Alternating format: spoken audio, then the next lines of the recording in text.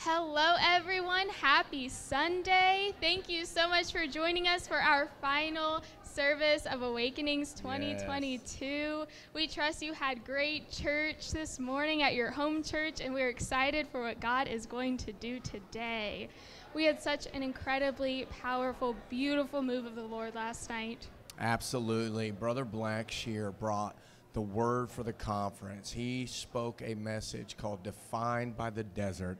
And I know, just like me, you out there, when you hear that word desert, you associate that word with difficult times in your life, lonely seasons that you've been through. And he talked about how those seasons define us and and make us who God wants us to be. It was a powerful word. And if you didn't get a chance to hear it, we encourage you to go back and listen to it online. Yes, and we know that we're going to have a great service today, too. But first, we have some very special guests with us. They have been helping us usher in the presence of the Lord yes. this weekend. First up, he is a world renowned recording artist, and he calls Calvary Columbus home. Brother Mark Crowder is here with us. us. Brother Crowder. Thank you for being here. What is here. up? Glad to be with you guys. Yeah. Thank you. And we also have Sister Abigail Hayworth with us. Thank yes. you so much for joining us. Thank you. So, you've been all over the country, Brother Mark. Where have you been, and what has God been doing? Well, it's been an incredible time. Uh, the Lord's really opened up a lot of doors. I'm We've been a lot of places uh, yeah. California, Georgia, Texas. We were just together in Texas for TYC. It was a great event. Um, all over the place, Michigan. Name a state, we've probably been there in the last 12 months. So That's God's awesome. been really cool. Well, Brother Crowder, we want to give our online audience a little exclusive. So why don't you tell them what's next? What can they look forward to? What's coming up in the timeline of Brother Crowder? Oh, praise God. Uh, well, Ohio Ladies Conference is next week. I'm really excited about that event. Honestly, like Ohio Ladies Conference is peak apostolic. I love Ohio Ladies Conference. Um, I'm in Indiana the week after that. Um, back in Ohio for another conference the week after that, and then uh, in uh, Nevada, oh, uh, uh, the state of Nevada after that. So it, it just keeps going. Um, Florida after that. So it's uh, every week. That's awesome. That is awesome. Well, I know our viewers out there love you, and oh, they want to know how can we support you in your ministry right now. Well, first of all, I want to say thank you for everyone that has uh, supported us. That's what makes apostolic music work. Every ticket that you buy to an event, whether it's for myself or James Wilson, Draylen Young has a recording. I'll be there in Indiana. Um, be in Indiana two out of the next four weeks uh, for two different events. But I'll be at Draylen Young's recording. Please buy your ticket to support him. Um, it's going to be an incredible, incredible event. You want to be there. Um, that is September 30th. So go to his website get those tickets. Uh, but every time you buy an event ticket like that, every time you uh, stream our music on YouTube is great. You know, all those things, it's a blessing to us. So continue to do that. Uh, share it with other people. And uh, right now, um, Anything Can Happen is the top 25 gospel song in the nation. So if you'll call your radio station and ask them to play, your gospel radio station, ask them to play Anything Can Happen by Mark Crowder, uh, that would be a blessing as well. So good. Awesome. That is awesome. Thank you so much. Hey, yeah, Sister Abigail, thank you so much for joining yeah, us. It's a pleasure to be so here. delighted to have you all the way from Ocala, Florida. Oh yeah, the big city. Big That's city. right, the big, the horse capital of the world. That's I'm told. I will die on that hill. Yes. So, Sister Abigail, tell us what have you been doing since you graduated from IBC? I've been doing a lot, and I love it. I've been back home, so I'm originally from Ocala. Came back home to serve under my pastor, Aaron Sizemore. I've been loving it. I've got to help serve with our music team, our youth team, um, done a lot of different kinds of things, and I've like Brother Crowder said, been traveling around, which has been um, one of my favorite parts. I love getting to be at places like Awakenings. This is a great church, a great conference, definitely one of my favorites. Awesome. That is awesome. You obviously have such an impactful ministry. You're so talented. What is your piece of advice to others who are watching? What is your advice how to be a worship leader, how to have an impactful ministry? Um, well, I think that every ministry should start at wherever you're serving, wherever that is, your home church, your wherever you may be, and get in alignment with your pastor's vision, um, whatever that may be for your church, your congregation. That's been the best advice that's ever been given to me.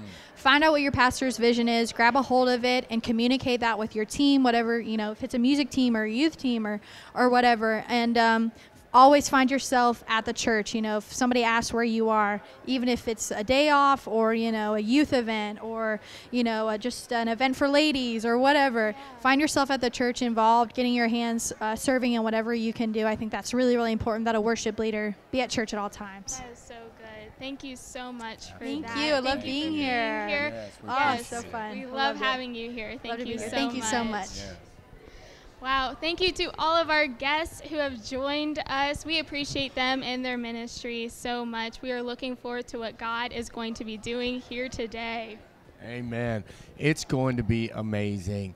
Uh, we encourage you to stay tuned in. Brother Mark Morgan is going to be bringing a powerful word to this conference in just a few moments. We know it's going to be incredible. We know it's going to be life changing. So stay tuned in for that.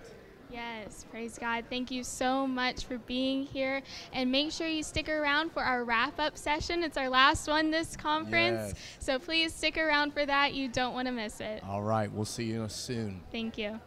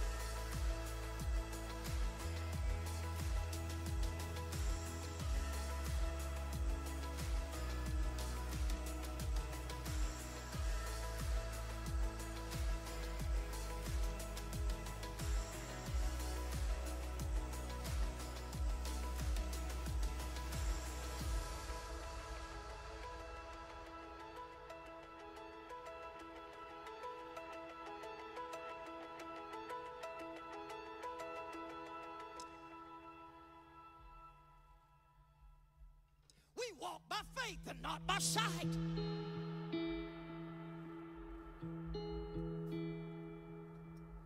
I don't know what tomorrow's gonna hold. I can say and say and say, victory's tomorrow, victory's tomorrow, victory's tomorrow, victory's tomorrow, but victory might not be tomorrow. I just gotta keep on going.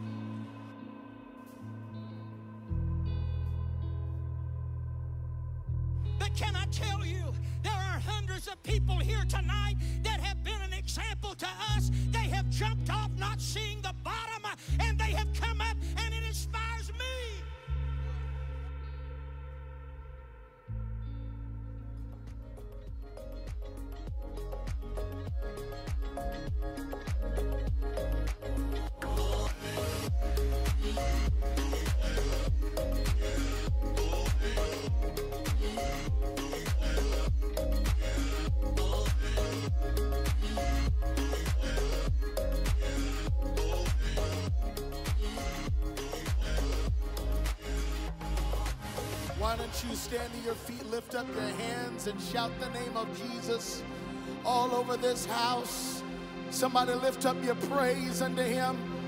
Lift up your worship unto him in this place. Hallelujah. Come on, you can be louder than that. Somebody lift your voice. Lift a shout unto God. Hallelujah, hallelujah, hallelujah. Come on, hallelujah. We've come to see God do something incredible in this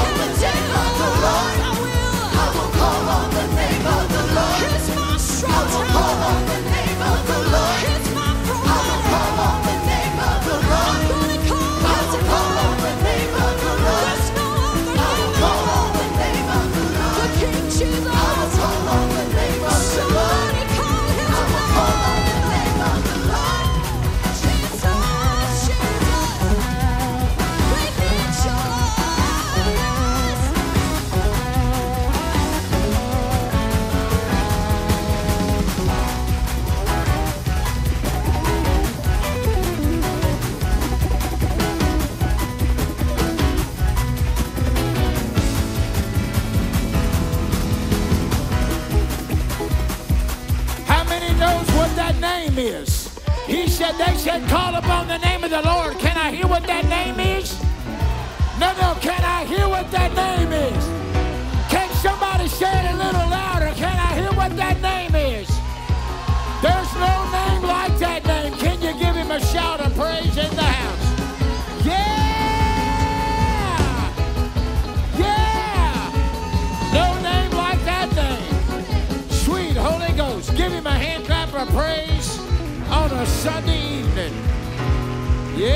Yeah, yeah, yeah. Sweet Holy Ghost.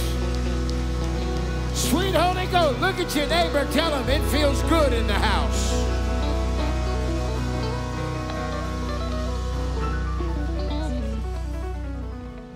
Now, I know everybody's wondering because you know why I'm up here. You've been here every service saying, My Lord, it's going down every service. We're making headway. About 20 grand away. Somebody shout, Amen. That's good. And you know what? The Lord can help us out, can He not? If you're new and this is your first service, I'll, you say, Man, what's He talking about? We started the conference and we just felt like to just let everybody know what all this would cost to put this on, to rent different equipment and speakers and airfare and food and you know just everything. Fifty about fifty-one thousand dollars. So look what the Lord has done so far. We're down to about twenty grand. Can I give the Lord? Huh?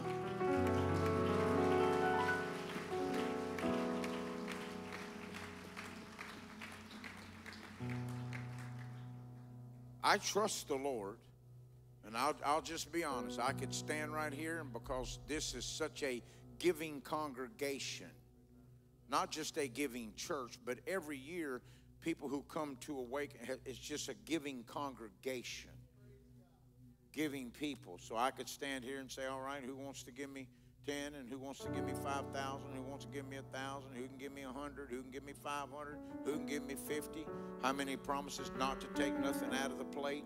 I could go through and do all of that. But I, oh, we don't, we're just not going to do that, all right? We're going to trust in the Lord here today, all right?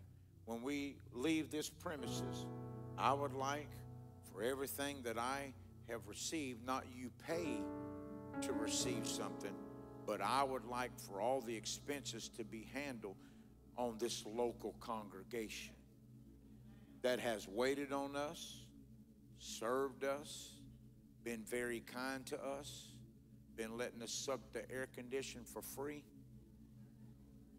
And registration was simple on everyone, didn't cost nothing. So, you know what? We're going to do it that way. There's going to be, of course, text to give. That'll be coming up, and you can start taking down that number, and that's the way that you like to do it. And then after text to give, we got a QR code, and our ushers can start making their way down. We got a QR code, and that'll come up, and you can check that out. You just take your camera and hold it up there, and then it tells you what all to do. Thank the Lord for technology. And then, of course, there's CalvaryColumbus.com. Uh, you might be watching online. You might want to text to give. You might want to just give Cal- CalvaryColumbus.com. We still take checks. We still take cash. Uh, anything spendable. There you go. Change, just whatever. I'm not going to do some long drawn out thing. I could tell you story after story about men of God sitting right here in this building right now that gave to this conference that extraordinary things has happened for them back in their congregation. I, I, I literally could, I literally, men that I've seen here in the last three nights, literally they could tell you, I did this and the Lord did this. And I you don't do it to receive, but he just does it because when we do it free will, that's what the that's what the Lord does. So we're going to ask the Lord here today, Lord, what is it that you would have me to give? I, I, I really want you to be serious when uh, you ask the Lord that. Twenty thousand dollars. I'm just going to be real honest. Is not a little bit of money. Twenty thousand dollars is a lot of money. but I got a real big God that has blessed his people beyond measure. I'm telling you, the apostolic church has been blessed beyond measure, even through all kind of situations in the last few years. The Lord has blessed the apostolic church, and He's blessed the people of God. All right? So let's ask Him today say, Lord, what is it that you would have me to give?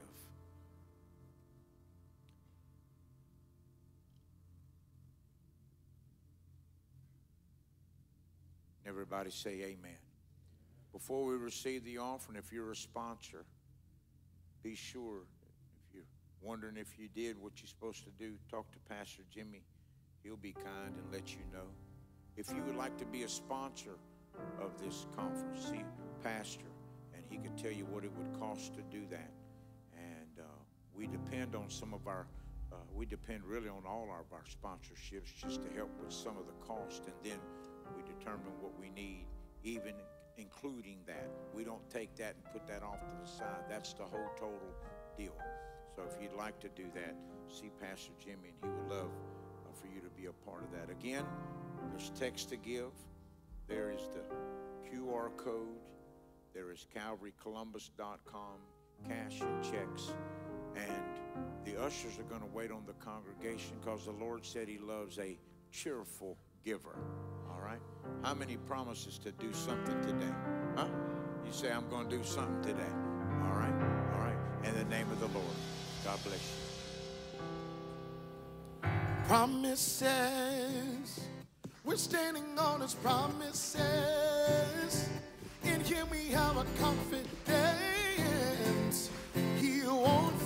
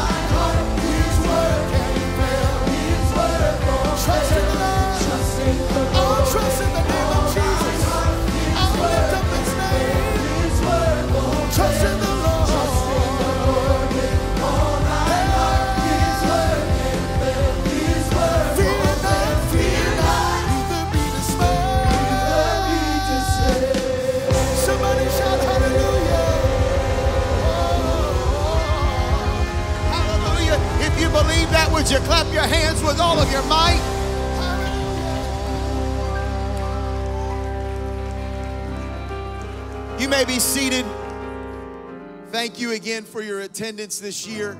And I would remind you that again next year, Labor Day weekend, September 1st, 2nd, and 3rd, we will be together here for Awakenings.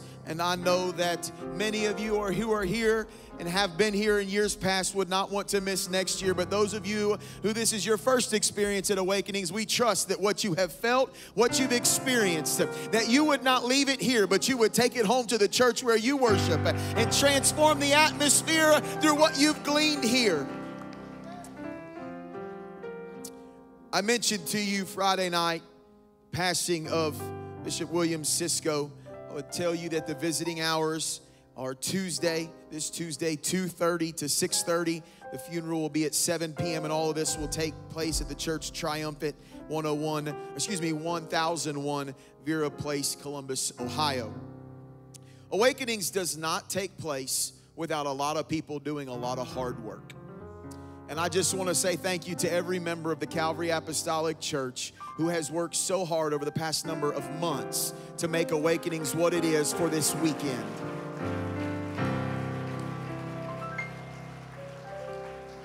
We have mentioned our sponsors on a number of occasions, but to all of our sponsors who are here today and those who have had to leave due to their services today, we honor every one of our sponsors, uh, who most of which have been with us for a number of years, and so they've been longtime supporters. So to every sponsor and their families uh, and their church families who are here today, we say thank you. Without the vision, without a vision, without vision, the people perish. Thank you, Bishop, for your vision for awakenings for the last several years. And Sister Stark, First Lady, thank you for all that you have done to make awakenings what it is. Would you do what is appropriate? I can't think of an awakenings that we've come together that God has not met us. Would you just clap your hands and would you thank the Lord for everything that He has done over every year that we have joined together? And then also for this year, what He has done and what He is going to do. Would you just clap your hands and would you, uh, with the fruit of your lips, magnify and thank the Lord with a heart of thanksgiving, uh, with praise on your lips?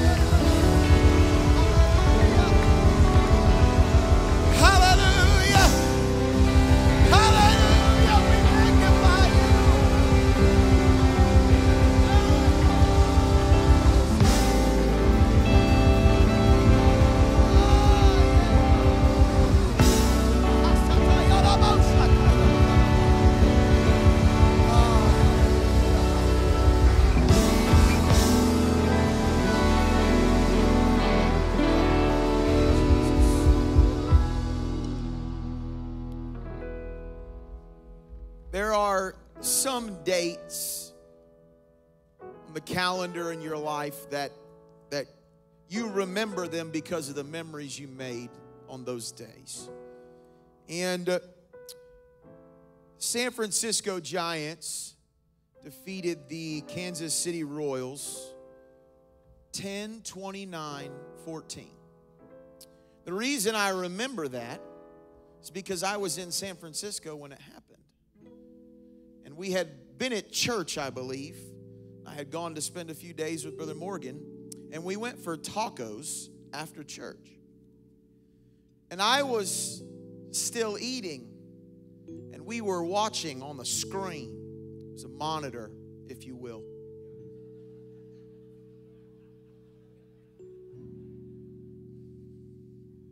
At the little taco shop, and I still remember I had quite a bit of food to eat, and it was the bottom of the ninth, or no, it was the top of the ninth, I believe. It was bottom of the ninth. I think it was about, I don't know, there was an out or two. And you looked at me and said, Finish that taco. And I said, Okay.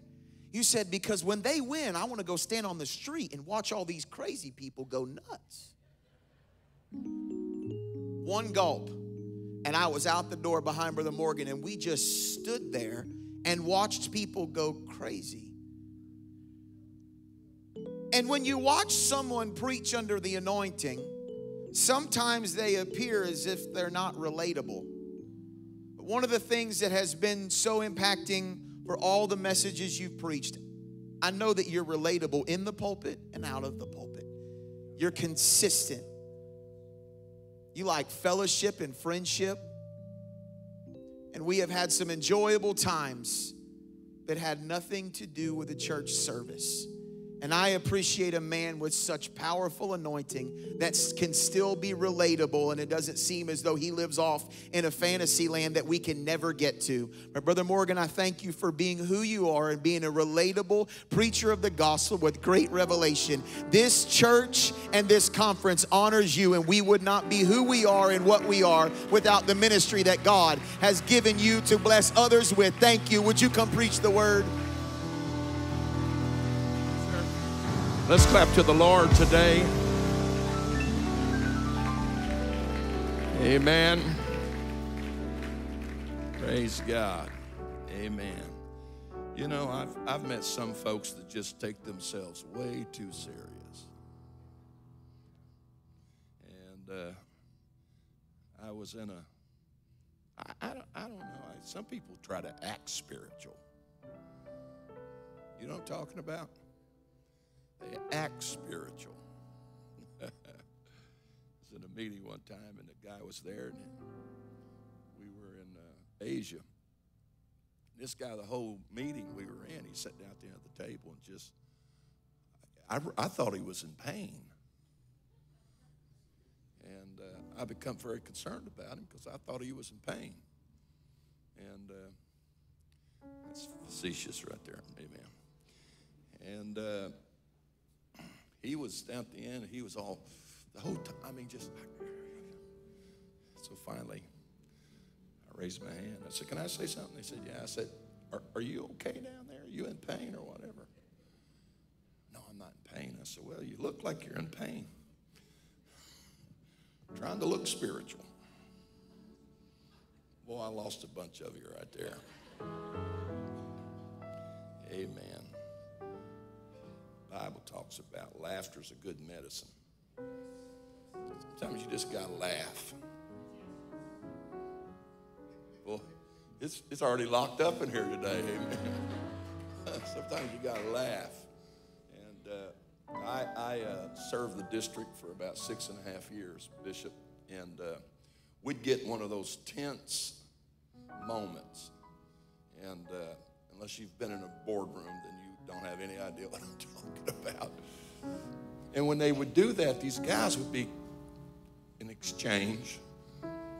Brother Hughes, I'd look over, Brother Kopp was the secretary, and I'd tell him some stupid joke.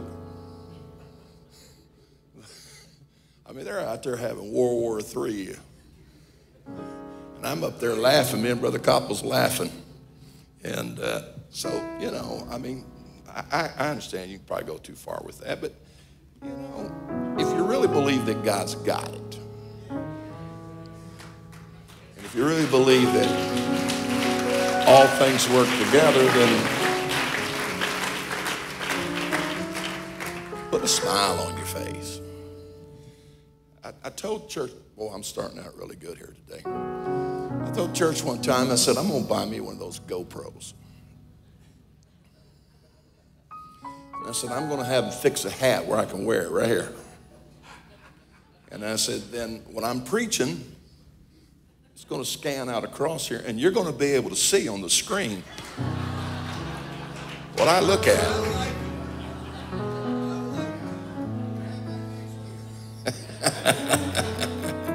Anyhow, amen. God bless you for being here this afternoon. And uh, I know some of you are tired. It's, you know, you've been working a lot and worshiping a lot and responding to preaching. But thank you for being here this afternoon. And I do want to take just a moment and say how much I appreciate Bishop Stark and his family and Pastor Stark, Stark and Stark.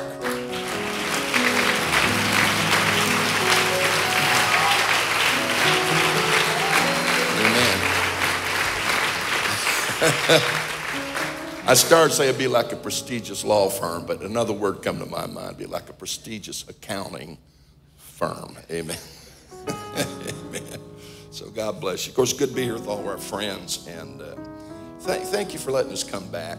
And I had to come this year to redeem myself because I canceled last year, and uh, so I was glad the plane took off and landed right on time. And so God, God's good. Amen. And uh, of course, Dr. Hughes, appreciate you, love you, respect you highly. I want you to know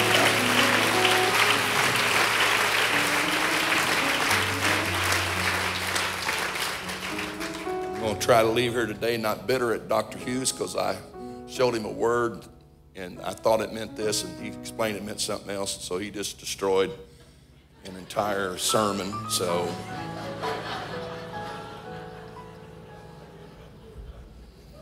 I still may go ahead and preach it because you wouldn't know it anyhow.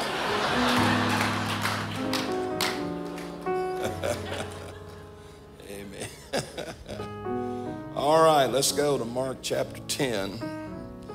I uh, are the Thompsons here? Oh, I guess you are.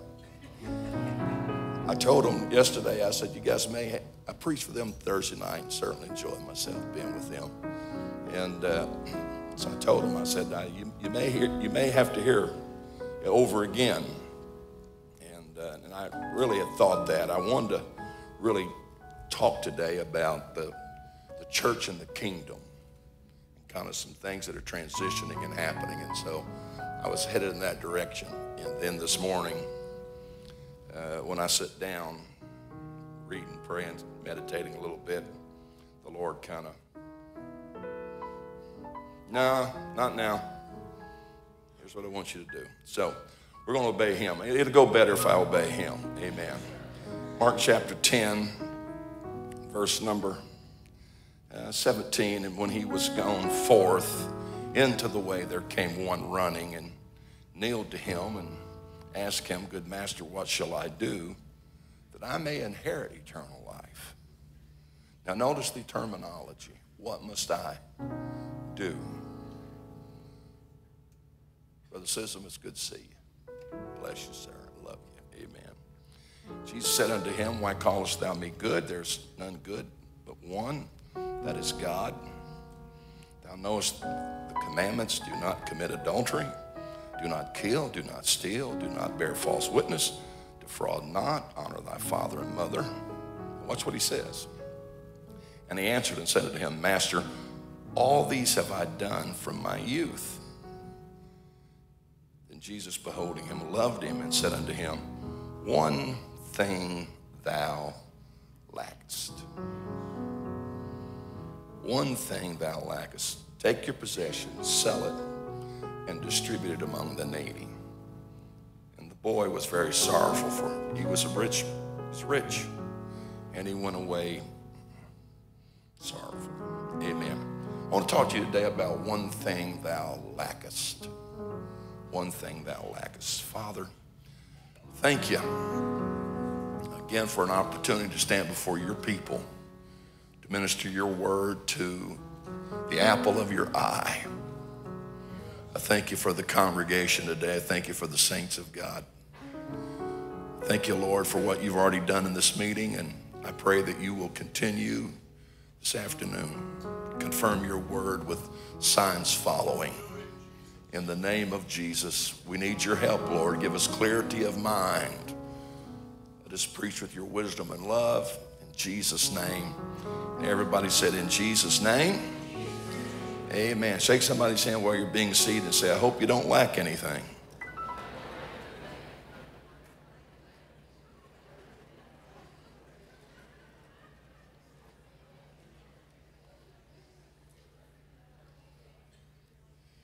You know, most leaders would gladly accept the rich young ruler as is because of the potential of him being a blessing. Amen. But boy, Jesus knew how to kind of hit you hard. I heard a message years ago. Oh, elder priest, his message was, You really don't want Jesus as your pastor. Because I guarantee you, the first time he called you a dog, you'd find another church. and uh, he's telling this parable, and uh, or he's telling the story, and the, some of the key statements in this story intrigue me because uh, this rich young ruler's only interested in how do I inherit? How do I get eternal life? Tell me. Tell me what I need to do. And uh, I noticed a long time ago that they are called the Beatitudes, not the do attitudes. You can do, but not be. Well, that was about as profound as it's going to get here today, right there. we have a lot of people that do certain things, but is that who you are? And so he, uh, he's asking the Lord, what, what, what do I need to do to inherit this eternal life? Of course, Jesus said, Well, first of all, why are you calling me good? There's none good but God. But uh, you know the commandments. That's another key statement. You know the commandments. Don't commit adultery, don't kill, don't steal, don't bear false witness, defraud not, honor thy father and mother. He answered and said unto him, All these have I observed from my youth. In other words, I do these things. I, I, observe this. I'm, I'm faithful to these things. And then Jesus said, Yeah, that's true, but one thing thou lackest. Now, you would think that if he did all these other things, that that one thing would not be so significant. And so I think it does us well to observe that one thing because Jesus could have said, You're right, you do all these other things, I'm proud of you. Come on over here and join the club. We'll give you a special parking spot.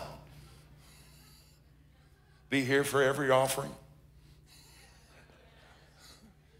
But Jesus didn't do that. So, my question is what is so significant about that one thing? Now, when Jesus responds back to him, he says, This thing you lack. He said, I want you to take your possessions I want you to sell it, liquefy it, and I want you to distribute it among the poor. And the boy, the Bible says the boy was very rich. He went away sorrowful. And uh, Jesus was grieved about it. He loved him. The fact is, is, you know, do you really think that God is after the boy's money? Do you really think that God is after just trying to uh, you know, you got too much money, and uh, I'm going to teach you that it's harder for a rich man to enter the camel. So he, he wasn't after his money. I am convinced, firmly convinced, that he was not after the boy's money. And I got, I want to tell somebody something here today. God is not after your money. If God wanted to get your money, he could move on an IRS agent somewhere.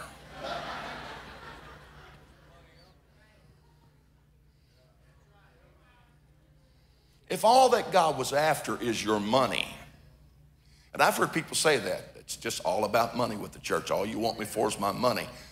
God is not, God is not after your money. There's something much bigger at stake here that God is after. You know, the Apostle Paul writes to the Corinthians and he says something like this I don't care if you give all of your possessions to feed the poor, but if you don't have charity, it didn't profit you one thing. So it wasn't that God was telling the boy that you lack just uh, benevolence or just, you know, I'm after your money. But what he's really telling the boy is, you lack love. And one of the indicators that he lacks love is his terminology. What must I do? What must I do? Give me the list of what I have to do to sing in the choir, to be a member of this church, mm. to be a part of the fellowship Give me the list of things that I need to do. And I'm telling you, I'm, not, I'm just going to shoot straight with you. or eat up with that.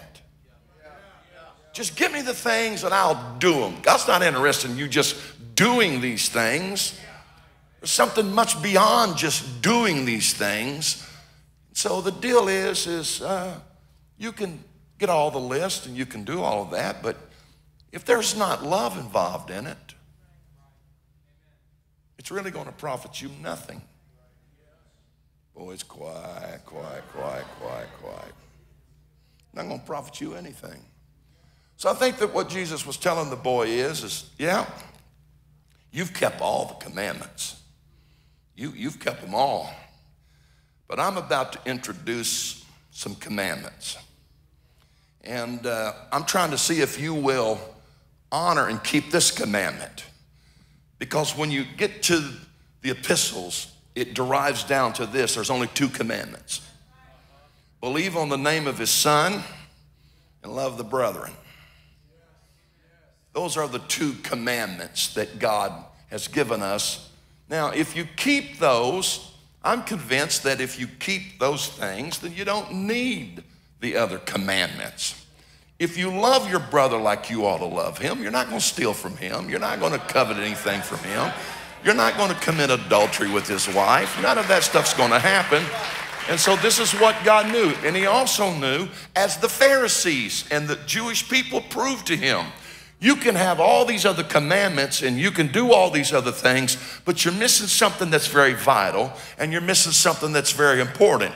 You do all these things. I mean, brother, you'll move heaven and earth to proselyte one person, and you say we even tithe on our spices. But the fact is, you're missing something. This was the dilemma that the apostle Paul found himself in was the Judaizers that followed him everywhere that he went trying to trying to tell people let's go back to the law. You need to be circumcised. You need to observe this. You need to observe that. The problem was is they had a list of what you need to do but they were not there by faith and they were not there operating out of the love of god. Ooh, maybe we ought to dismiss right now. So i want to i want to kind of dive off in this just a little Will, will, you let me do that? I, I, I, got, got to reading this morning a little bit, and I went to Galatians. Uh, and uh, chapter 5, verse 6 For in Christ, Jesus Christ, neither circumcision availeth anything nor uncircumcision, but faith which worketh by love. Faith which worketh by love. So, I, I, I okay, God, I'm what does that really mean? I, I need you to help me to understand what that means. And so this is the best definition of it that I got is faith through love becomes operative and influential. Because it is possible for you to have faith and not have love. Oh boy. Fasten your seatbelt. I'm just going to preach to me today and make you listen. Is that fair enough? And uh, so, you know, even, even going back to 1 Corinthians 13, now I'm just going to tell you right now, I do not like 1 Corinthians chapter 13. If it was left up to me, I'd rip it right out of the Bible.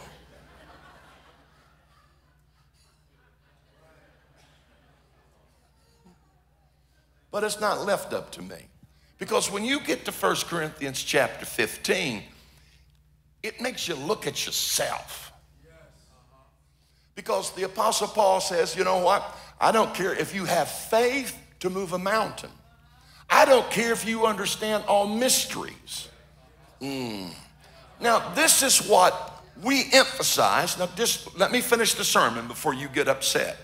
This is what we emphasize when you need to have faith and you need to understand mysteries and you need revelation. You can get all of that, but that does not make it operative. It doesn't activate it. Mm. You could have all of that, but you didn't have. He said, I don't even care if you give your body to be burned at the stake. If you don't have charity, you don't have love, it's profiting you nothing. Ooh. I don't care if you Corinthians can do all this stuff. To him, it's just a, a noise, just a bunch of rattle to him. I'm telling you, I, I don't like that First Corinthians 13 because, you know, I get to feeling pretty good about myself, and then I start going down through there and I see all this list of stuff. Love does not, love is not puffed up. Love vaunteth not itself. It thinks no evil. Boy, I'm, I'm, I'm strike three right there. Amen. I mean, here you go. You get into all this and you start looking at it. And then, then you read the statement faith, hope, and charity. Ooh, threefold cord is not easily broken faith, hope, and charity. But the greatest of these is ooh, the greatest of these. Now, now, I'm really going to mess with you. I'm going to mess with you. The highest dimension that you can operate in is in the true character of God, nature of God, which is God is love. I was asking the Lord this morning, I said, explain to me, help me understand um, the fact that in the end time, the Antichrist is going to call fire down from heaven. The Antichrist is going to perform great miracles. So there's going to be a little running parallel tracks with God's people and the Antichrist. It's kind of like Moses and them. And so, okay, God, they can duplicate these things. So, what is it that separates us? I mean, they can, they can duplicate fire, they can duplicate miracles, they can duplicate power. But what is it about all this? And he said, There's one thing they cannot duplicate.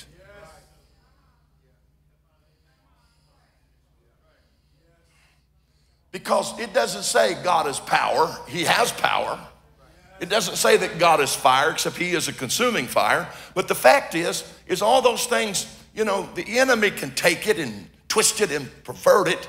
And then, you know, now we're faced with this stuff and all. Listen, I've been to places to where I've been, eh, anyhow, I've, I've been in living rooms where you won't start talking about supernatural. The church has to have the supernatural.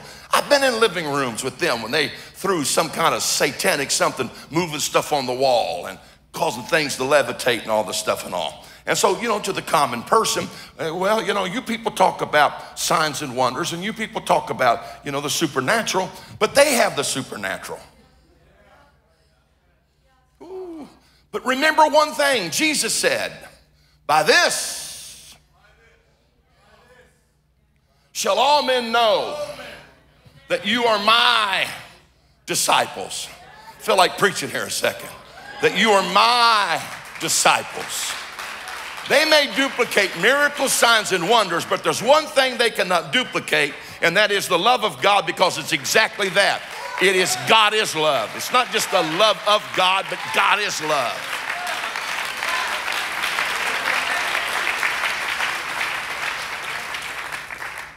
Will you, will you stay with me just a little longer?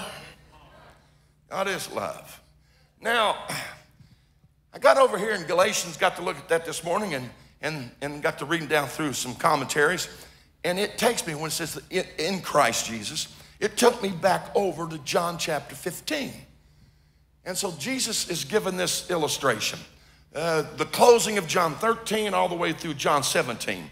It's one long conversation that Jesus is having with his disciples. He's leaving the Last Supper, he's headed to the garden, and he's going through there and he's talking to them. Historians tell us that when he starts giving them the illustration of the vine and the branches, that he was literally standing in a vineyard when he gave it. So he's using a backdrop. And then he gets to talking about, I'm the vine and you're the branches. And if you abide in me and I abide in you, then you're going to produce fruit. And if you are producing fruit, now this is the one that I don't like. If you are producing fruit, then I'm going to purge you and I'm going to prune around you and I'm going to cut on you so you can produce more fruit. Okay, God, I'm finally producing some fruit. Can you leave me alone? No, I'm going to work on you where you produce more fruit. Now, I've heard people use that passage of scripture because later it goes on that Jesus said, you know, if, if, if, if you're not bearing forth fruit, you're going to wither and die. Men are going to gather you and cast you into the fire. I think I've said this here before, but I'll repeat it. It doesn't say that angels are going to cast you into the fire, it says that men are going to cast you into the fire. I've also heard people say that fruit in that particular passage is about souls and winning souls. Now, don't do not misunderstand me. He's not talking about soul winning. What he's talking about will result in soul winning. But what he's actually talking about is love. If you abide in me and I abide in you, he said, it's not your love, it's my love. I am the source of it. It flows from me to you and through you. And if you get disconnected from me, whoo, if you get disconnected from me, you're going to wither and die. You'll not produce my love. Now, the apostolics need to wake up and get this revelation. You better stay connected to me because you cannot produce this on your own. And if we get severed from each other, you're going to wither and die. You'll produce no fruit. And men are going to gather you and cast you into the fire. You know what that literally means? You're going to be put in situations with people that's going to consume you and burn you up. And brother, when you get disconnected, trust me, there's something headed your way. There's fire coming your way. There's a situation coming your way. And I'll go a step further. Even if you are bearing fruit, He's getting ready to do a little pruning in your life so you can bear a little more fruit. Well, God, I, I'm, I'm starting to bear some fruit. Yeah, you are. But there's some things that we need to cut away. Boy, this is not going over right now. This, this, we're going we're gonna do a little pruning. Boy, isn't it amazing that one of the tests that God has for us is with other human beings? Just about the time I think I got this relationship right, the love of God is operating in my life. God says, hey, you, come here. I need to produce more fruit in him. And the only way I can do that is you helping me. Ooh, it's locking up in here. See, I've always for years called it agents of crucifix. See, you can't crucify yourself. I went out in the garage one time just to prove this point. I did. I went out in the garage. David, I went and got a nail and a hammer. And, and, and so I took it. And uh, I, I, this back when I could touch my toes. And I put my feet down and tuck in that. I, I could do that. I could nail that to the cross. And then I could raise up and I could take this hand, hold a nail right here, and I could nail that. Then how am I going to finish this? So that's when it dawned on me that God has agents of crucifix that He's assigned in my life. Their job is to make sure I get finished off.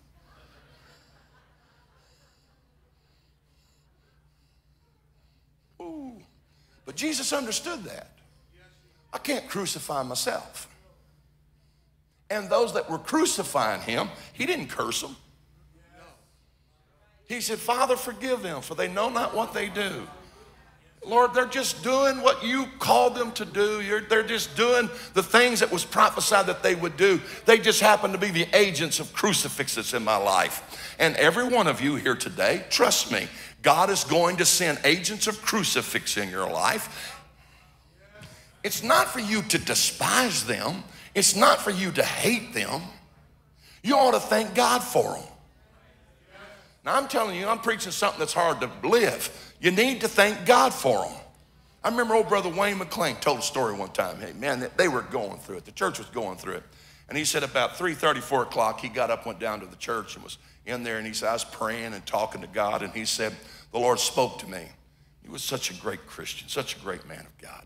So the Lord spoke to me and said, Wayne, if this wasn't going on in your life in your church, where would you be at right now? He said, Well, Lord, I'd uh, probably be in bed resting. And he said, That's why it's happening.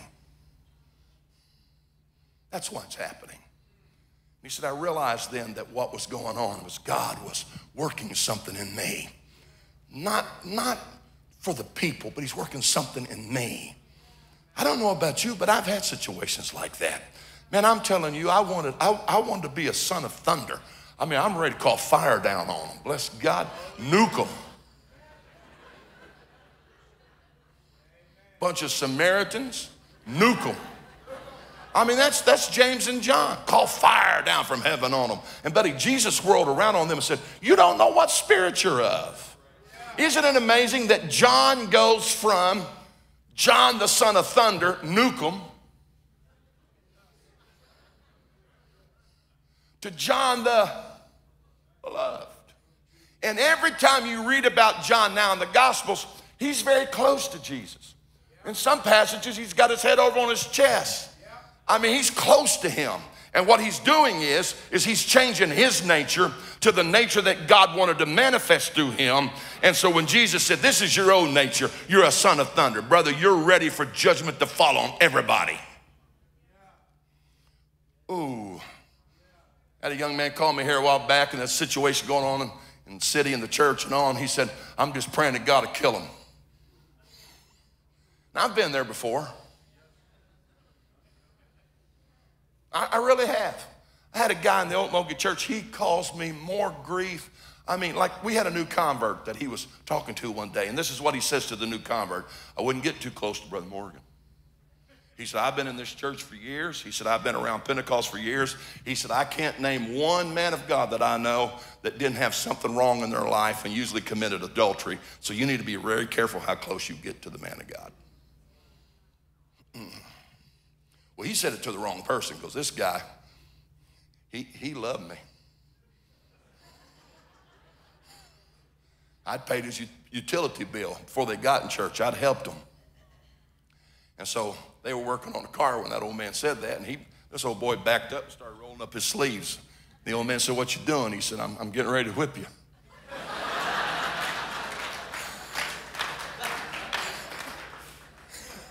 The old man said, What? He said, I'm getting ready to whip you. He said, I ain't gonna sit there and listen to you talk about that man like that. That man has done me nothing but good and helped me and my family. And I'm in the church today because of that man and the love that flowed through him and manifested to us. And he said, I'm not going to sit here and let you talk to me like this. Now, you've got two choices. You can stand here and keep it up, and it's not going to be good for you, or you can leave right now. Don't ever come back over here again. He chose the latter, amen. That old man, I mean, one time I was in, out of town preaching. They called me and told me something else he'd done. He'd sat in the back of the church, and he'd, he'd he, he the, the sound was loud, and it was. I mean, I'm not saying that it wasn't, it was. But instead of just coming up after church saying, you know, Pastor, sounds a little, you know, he, he started coming in and had white cotton balls. I mean, it, it wasn't just stuck in his ear, it was out of his ear. And then he would sit back there and he'd, he'd do this. Now, I'm not a good pastor. And I've had to work on this love stuff. He'd get back there and do that, and he'd mumble stuff, make little sly remarks and stuff. So he's sitting back there doing that one time, and he was sitting kind of over in this section. The sound booth was over on the right side, and I had to look past him to the sound man. Sound man's name was Larry Killian. And uh, so I looked back to Larry and I went,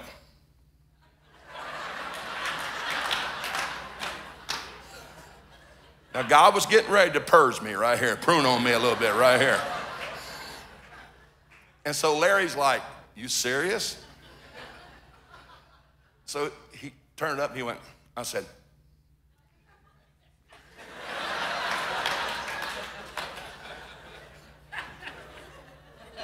Well, I was being cast into the fire right there, trust me, amen. And he, I mean, brother, it was like, he went, I said, no, I want it up. You better thank God for these two men that they love you and they.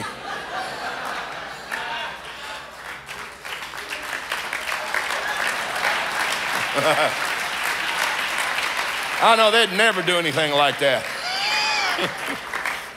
Staff after church, here you come. Cotton balls and all. Here you come up there.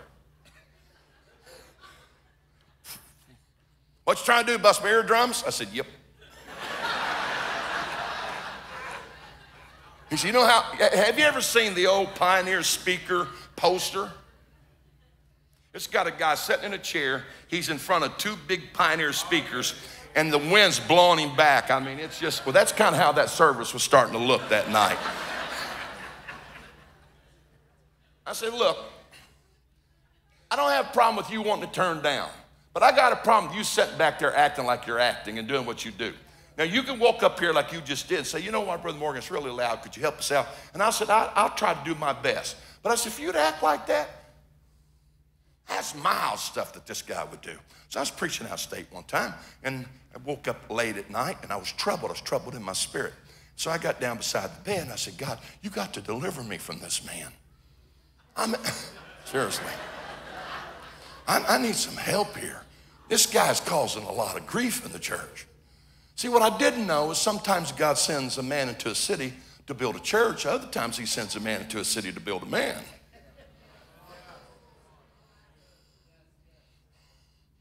Trust me, God's working on me right there. As clear as I'm talking to you, I heard the Lord say, I'll take care of it. He's a dead man. I got up kind of like, that was easy. I think I'll do that more often. Ooh. I, I, I know where I need to go. So I crawled back in bed, justified, because how wicked that man was. Stolen from people in the town. I mean, you wouldn't believe the stuff. So I'm laying in bed, and all of a sudden, I get pictures of his family and his precious wife. Hmm. What's this going to do to them? So I'm trying to go to sleep. Stop bugging me with this. Just get the job done, God. You're my hit man.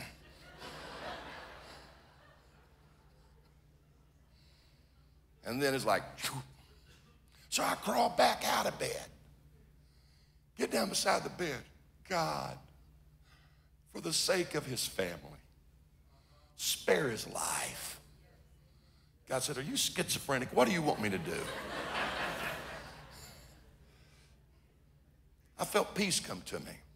So I drove home that Sunday afternoon, was back in Sunday night service. I told my brother Jeff what had happened the night before. He's like, oh my God. And this man, we didn't have open testimony service. It's dangerous. And so in the he's, he's raising his hand. Oh, he wanted to testify. I'm like, oh my God. So I said, brothers, oh, I almost said his name. That was close. I, I, I can't say his name, but the puppet might be able to say his name. and so I said, What? He said, I need to testify. I said, Okay. He said, Yeah, last night I was laying in bed about such such the same time. And he said, There's a devil coming in my room. He said, like I felt my chest tightening up and I knew I was dying having a heart attack. He said, I kept rebuking that thing. He said, finally lift it. I looked around Jeff, just like, oh my God. Well, I never did tell the guy. I don't think it was your rebuking. You can't rebuke it if you're not submitted to God, so I don't think you had anything to do with it. But boy, God taught me a lesson right there. And I told that young man, I said, You're so quick. I said, Let's change this scenario. I said, Instead of asking God to kill him, ask God to bless them. Ask God to work on their nature, their thinking. He said, I have to pray that? I said, Yeah. I said, Because what this is really about is, it's not about those men now, it's about you. It's about a situation coming into your life that is showing something in your heart that anybody that opposes you, God's supposed to become your hitman. Well, which door do I need to try to run out of here? And Brother Stark, I, so he changed it. He changed it. Changed the way he prayed. He called me, he said, I'm sorry, I was wrong. My spirit was wrong. I said, Listen, did God tell you it would come to pass? He said, He did. I said, I was there and told you it would come to pass. He said, You did. I said, Then why are you letting these men that are resisting this cause you to come to this point? God's going to take care of this. God's going to do this. Ooh, just walk on now. Now, I'm telling you, I'm, I'm good at giving advice. It's a little harder for me to live the advice that I'm giving. And so he, sure enough, he went to the deal and called me back and said, You're not going to believe this. We got to the meeting. He said, We sat down and he said, Man, he said, the change, the change in that council was so incredible. He said, It passed. They agreed to it. He said, People that had been resisting us had stood there that day and said, We're going to do it. I said, Aren't you glad now that you didn't call fire? Ooh. And I'll tell you something else. Better be careful when you're online and you're calling fire down from heaven on everybody. Well, well, well, well. I done messed this service, so I mean, I don't know if we'll ever recover. John, John. Now, are y'all ready? You're not letting me know if you're ready. You're going to uh, tell us first, and then we'll let you know if we're ready. Here's the deal. Fruit, a, a vine cannot bear fruit of its own. But if you abide in me and my words abide in you, you shall ask what you will, and it shall be done unto you. Now, I've been asking God to help me understand some things, Bishop. And uh, why are our prayers not being answered? Your word says, whatsoever things you ask, why are they not being answered? Does anybody else ever think about stuff like that? Oh, come on. I need more honest folks than that. Come on, put your hand. If you've ever. Th- and then this morning I got to look at that and it tied me into something else. I said, look, if you abide in me and my word abides in you, then whatsoever things you ask. But if you get disconnected from me, your praying and your asking is in vain. The only way that I'm going to give you the things that you ask is if you're connected to me. I'm talking to apostolics right now. Now, the deal is if you don't think that this is important, let me help you with something.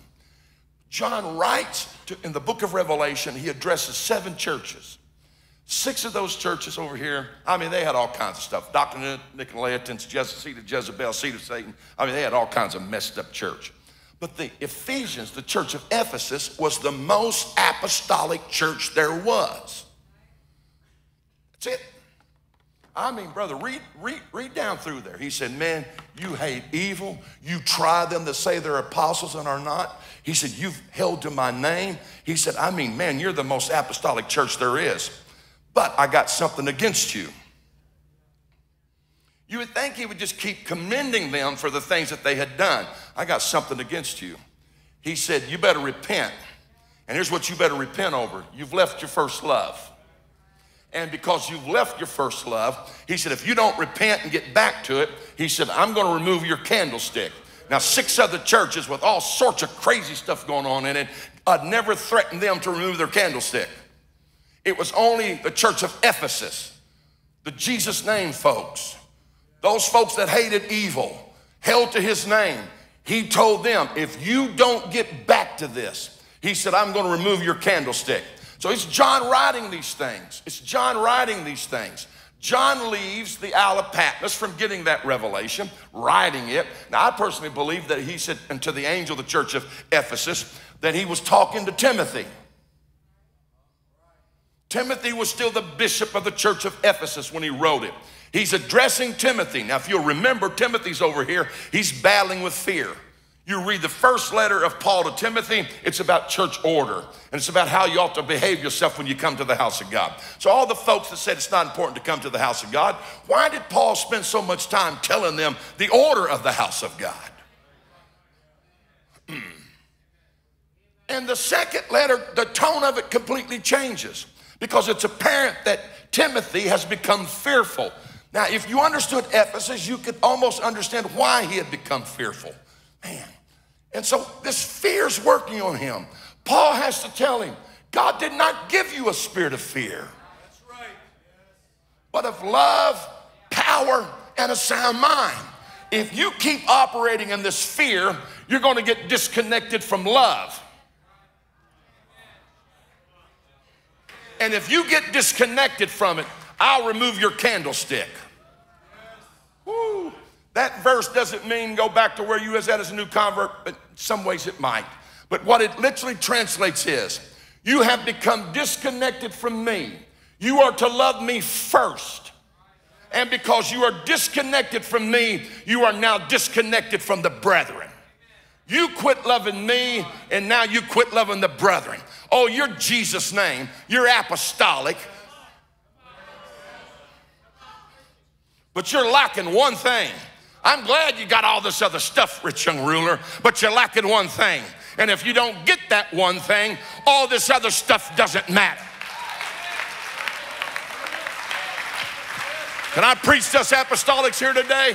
I don't care how doctrinally pure you are. I don't care, bless God, I won't put up with anything, brother. I'm so holy. I mean, my hair length, my dress length, my sleeve length, my tongue length. I'm so holy.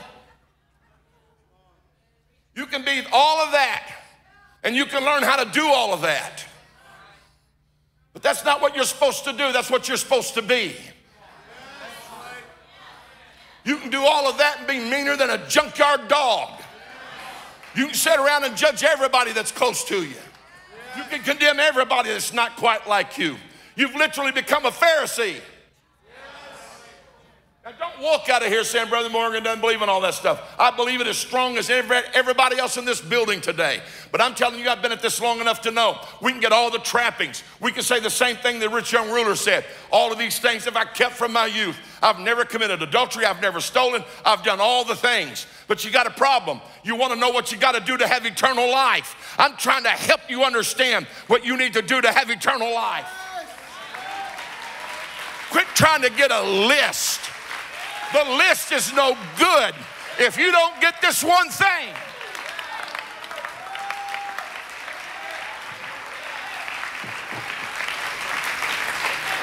And that's why the enemy is constantly after that in your life.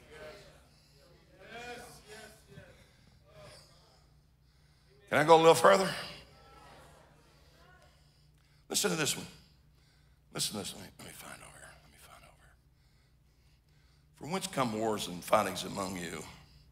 Come they not hence even of your lust that war in your members? You lust and have not. You kill and desire to have and cannot obtain. You fight and war, yet you have not because you ask not.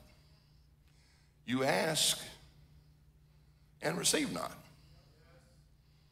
Hmm. Because you ask amiss, that you may consume it upon your lust. Now, if you go to the previous chapter, chapter 3, listen to what he says, James says to them. He said, But where envying and strife is, there's confusion and every evil work. Now remember, you, you, you have not because you don't ask. But when you do ask, you ask amiss. You ask, but you don't receive it. Hmm. Okay, God help us. Now here's John weighing in on it. You ready for it? See, John, that last living apostle, moves from the Isle of Patmos to Ephesus. And it's at Ephesus that he writes his epistles and then he writes his gospel. When he gets to Ephesus, he spends more time, two subjects. He's dealing with the Gnostics and all the stuff that there's no flesh, everything's logos. And then he's dealing with the fact that in Ephesus, he's trying to help them. See, it's John who could say, I was with him in the vineyard. I was standing there when I heard him say, I'm the vine and you're the branches. Stay connected to me. And so John is writing to us, letting us know that if we get disconnected from Him, we're in trouble.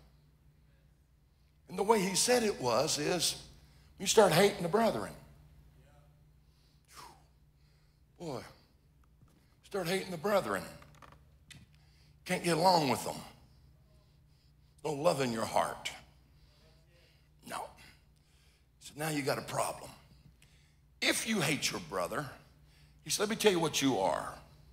He said, you're in darkness, you're not in the truth, and you're a liar. Now, I didn't say that, John said it. I don't care about all this other stuff. And this is the very area, you listen to me? I'm trying to help somebody here right now. This is the very area that the enemy targets. I got to get them disconnected. I got to let situations come into their life that gets them disconnected. I've got to get grievances and, and, and all in their hearts so I can get them disconnected. Because if I can get them disconnected from Him, they'll disconnect from them. And when they disconnect with them, they have no power in their prayer. Ooh. Still with me? They have no power in their prayer. Now, you know, we apostolics, we don't think that. We think as long as we can jibber jabber a little bit in tongues, everything's okay between me and God. Let me help you something about tongues. Tongues can fool you if you're not careful, and they can deceive you if you're not careful. Just because you can respond to something and jibber jabber a little bit, that's not God's sign of approval on your life. That's. I don't think that would be considered fruit. Now, the enemy works on this because John goes on to say, Now, here's the deal. If you see your brother hath need and you shut up your bowels of compassion, how say ye the love of God abideth in you? For you are not to love in word, but in deed, action. You can't say, I agape you. It's a verb. You can only show it, you can only manifest it, you can only do it. So for us to walk around shaking hands saying, I love you, I agape you, that's impossible. You're, you're, that, that, that, you can't do it that way.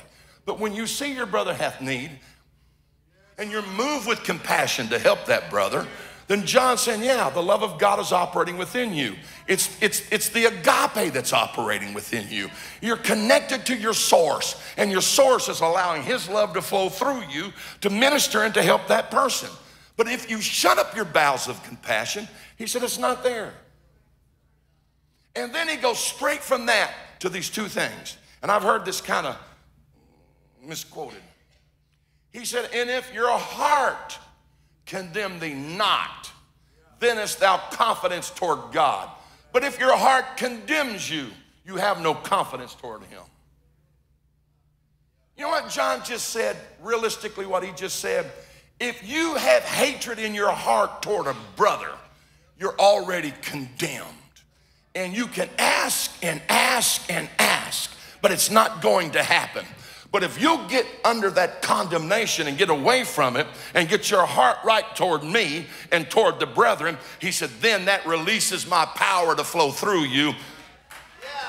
And then whatsoever things you ask. I'm gonna hurry to a close. See, we, uh, we, can I just be honest? We, I have a little trouble with that. I have a little trouble with that just about the time I think I'm doing okay. Somebody, or somebody borrows $20 from you and forgets to pay it back, or somebody lies on you, or misrepresents you, hurts you deeply. They're supposed to be Christians, supposed to be brethren. This is the real world we're living in right now. This is the battle in society right now. This is why there's so much hatred and race wars because of what I'm talking about right now. I'll tell you what will fix it. What would fix it if the world could ever see the church operating the way that it's supposed to operate, and that's the true love of God.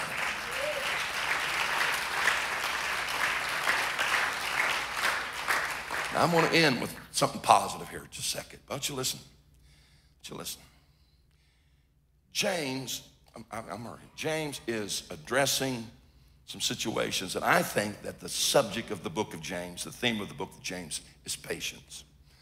because you've got two classes of people you've got masters and you've got servants. And the masters were being treated with uh, great acceptance in the congregation. But the masters were mistreating the servants horribly. And so James and the church leaders are telling the servants just be patient. Just be patient. Got to take care of it. God will deal with this. Of course, James goes into if there's someone that rich comes in with goodly ring and all, boy, you put him in a high seat. The rich young ruler. But he said, but these other things, you're not injustice. He then goes on to talk about the royal law. It's the royal law of the kingdom. This supersedes all other laws. Love the brethren. Love the brethren. Is this too simple here today? Love the brethren. That's the royal law of God's kingdom. And uh, then he makes that statement where there's envy and strife, there's confusion in every evil work. I, uh, Jason Huckabee called and uh, the other day and he said, I need to talk to you. I said, all right. He said, God's dealing with me very strong about the word strife. He said, talk to me about it. And I said, well, you know, he said, I know a little bit, but I mean, I think God's got you on a quest, and I'll, I'll join it with you. So I don't have all the answers to it, but I'll join it with you. Let's, let's go to the Word together. Let's pray about this together. So we started, we got over in the book of Proverbs, and strife comes from pride. And started all this stuff and all. And uh, I was at Apostolic Conference and asked, uh, asked Brother Wright, I said, what do you think that word strife there means? Well, I'm glad you asked. Now I'm about to get 400 pages of a definition of strife. Amen. And he said, Go look in the book of James where it talks about strife and it derives down to uh, political, electioneering, becoming political at any cost. You don't care what kind of destruction you do, as long as you can just get that position or, yeah, yeah. Never fails. Never fails. Church is moving toward harvest, the promises of God and the things of the Spirit. And then somebody, somebody wants a better position or they want their position confirmed. They want their opinion to be the opinion. The next thing you know, there's strife that comes in. And a Midianite spirit comes. Six years every time Israel got ready to harvest, the Midianites would come. Midianites, descendants of Midian, the name means contentious or brawler. Every time they were ready to harvest, a fighting spirit would manifest and come up there and totally take over. And it never fails. Let a district, let an organization, let a local church, let a ministry start moving toward harvest. Trust me, it's going to be somebody close by that's going to start finding something that they want to fight about. And they want to create strife. But you better be careful about creating strife. Let me, let me help you with something. You know, we all here today, I think, would agree that homosexuality is an abomination. Doesn't care what society says, the word declares that. I had a boy here a while back say, Well, so does eating shellfish. It says it's an abomination. I said, It does, son. That's true. He said, You eat lobster? I said, Yeah, yeah, I do. And he said, Well, see, you're an abomination. I said, That's not what it says. He said, Yeah, that's what it says. I said, No, that's not what it says. It says homosexuality is an abomination unto God. It says eating shellfish is an abomination unto you. And I said, puts it in a completely different position. But let me tell you something else that's an abomination to God. He that soweth discord among the brethren. There's discord and there's harmony. And the church is moving forward. And then somebody wants to start sowing discord. It's usually over their will and what they want. See, we don't want to go to the altar and die out to our will and find the will of God. We want to establish our own will. This is our own thinking. This is coming out, oh, here we go. This is coming out of that earthly wisdom that's sensual, that's soulish and demonic by nature. It's coming out of that. Because it's coming out of that, it leaves a wake of destruction. Had somebody tell me, so we did this by the wisdom of God. I said, You're lying on the word of God. I said, All you've left is a wave of destruction. You've created more discord. You've created more confusion. You can't sit there and tell me that that's the wisdom of God. That's your wisdom. That's coming out of your own soul.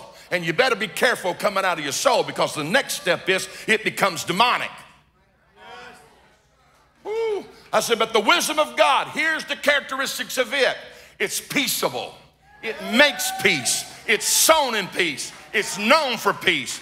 If you're sitting there saying, operate by the wisdom of God, and everything in your family, your home, your ministries in a wave of destruction, you're lying on the Holy Ghost. You need to come to the altar today and say, God, I need to get rid of all this stuff. I'm self willed. I need to get rid of all this. This is the way I think it ought to happen. And I need to stay down here until I get connected with you again. And your will and your mind can become my will and my mind, and I can operate by the will of God.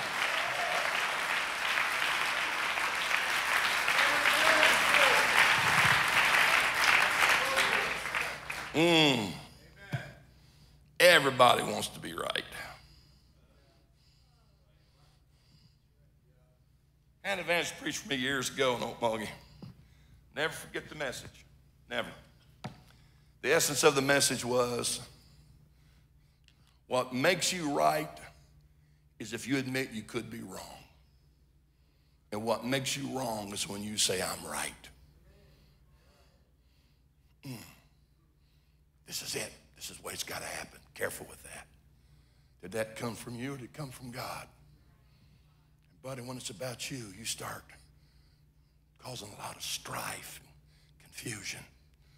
I am convinced that if the enemy can create strife, I listened to Dr. Hughes yesterday, I think it was him. Somebody told about the ascent going up to the house of God, Dr. Hughes. And I wrote it down, jotted some notes down about it. Never fails. You're on your way to the house of God as families. And next thing you know, some of those something irritates you. And, you know, you're ready to go and your wife's a little late and you're ready and get in the car and you right, right, right, here you go. And the next thing you know, it's strife. Oh, it, it escalates down here something trivial. But if you just keep going at it, next thing you know, there's strife in your home. And when there's strife in your home, there's confusion. And the scripture says if you and your spouse are not in agreement or harmony and living that way, your prayer hits that roof and bounces right back down. You can't fuss and fight all week in your home and cuss each other on the way to church and then walk in here and expect God to honor your worship and your prayer and give you what you want. Now, let's, let's, just, let's just be honest. Let's just be honest. I've pastored a long time, and invariably, if it's going to happen, it's going to happen right before church. Somebody's going to call about something. Somebody's going to be upset about something, or you're going to get the email. And I am convinced this is the way that the enemy says, let me render your services powerless. Let me just get you at each other. I preached years ago in a, in a town in southeast Missouri, and ill as an evangelist, just young evangelist in my early 20s. And uh, the church was locked up. Oh, it was, I mean, locked up. You, they just, and so I, I remember uh, went over in the fellowship hall to pray through the night, and I, I, I remember vividly because they made peanut brittle in the fellowship hall, and and, uh, and the residue of it was still there. So I got it on the floor praying. It's all sticky, and I was like, "My God, what's on this floor?" And uh, found out later. Amen. Now they didn't leave me in a peanut brittle, and I'm still bitter about that right now. Amen. But uh, early in the morning, the Lord spoke to me and said, There's two ladies in this church that have something in their hearts toward each other, and they've divided this church against each other. He said, It's to the point that one side's over here and the other side's over here. And he said, Tomorrow in the service, tomorrow night, I want you to ask them to change sides and to mingle and to pray one with another. So I got up and started reading my text, and God said, I told you to say it. I said, okay. I said, I'll say it. And I said, I'm going to ask everybody on this side to come over here and over here, over here, and, and we're going to kind of mingle here. And there's a lady sitting right where Brother Thompson's sitting. And uh, she was uh, more than an overcomer.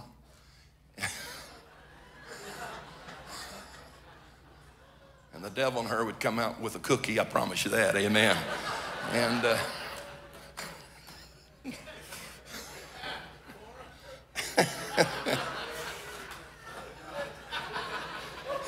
I want to, but I'm not. Amen. And uh, uh,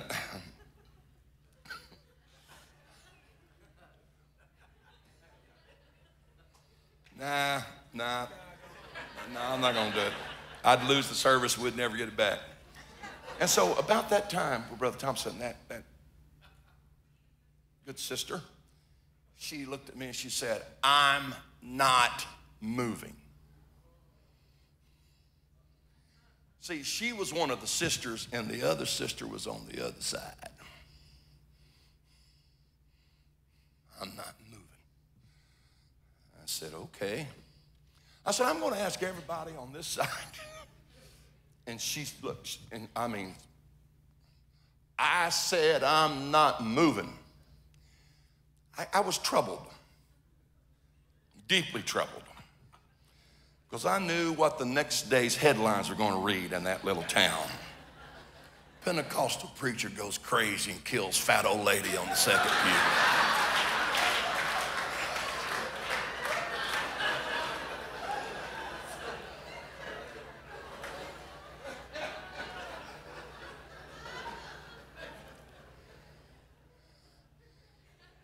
But the love of God prevailed in my life that night. And I said, I think we need to pray here for a while. They went to praying. All of a sudden, you feel something starting to break. Tears. And people started going to each other. That little old lady on the second pew, still standing there defiant. So I went down there to her and I said, Listen, if you don't get that out of your heart, you're going to go to hell over it. She said, You think so? I said, I know so. And I said, I'll tell you where she's at. I said, She's still on that side. She's right over there. And I said, You need to go to her and you guys need to get this fixed tonight because this is what's causing this church not to have a harvest. She said, I have to do this. I said, Yeah. She said, How did you know? I said, The Lord showed me last night in prayer. So she went down, come around the other way. I seen her go back to the other lady. She put her hand down. The other lady jerked back. Went. And I said, Church, we need to pray harder. Because what they didn't know was this is a pivotal moment for that church. We get the strife out of here, we get the confusion out. Got to start hearing and answering our prayers. Whew. Finally, the other lady broke before the service was over. They were each other's necks, weeping and sobbing, and their families, it's about a family deal, their families were being reconciled. And the church no longer cared what side they were on. They were just meeting out in the, in the house. I'm telling you gospel truth. Before that week was over in a church that hadn't had anybody get the Holy Ghost in years, we baptized and seen 17 people get the Holy Ghost that week. Just simply because, just simply because somebody said, I'm going to get connected again. I'm going to get the strife out of my life. I'm tired of the confusion in my home. I'm tired of every evil work in my life, in my church, my home. I'm closing. Bishop Stark, I admire you. I sincerely mean that. I admire you. I have great respect for you.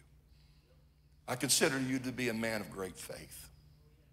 Matter of fact, last night at the after Brother uh, Blackshear just shredded me. I was like, man, I ought to go up there and have the bishop lay his hands on me and prophesy over me. And uh, I'd receive it and all this stuff. So I want to set it up because I have the tremendous respect for you as a man of faith.